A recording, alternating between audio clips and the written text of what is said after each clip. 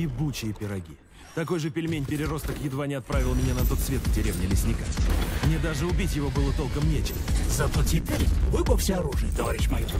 Вот Беляш охраняет вход, в театр нам не войти. Мы будем внутри через пять минут. С удовольствием поквитаюсь с ним за все хорошее по доброй памяти.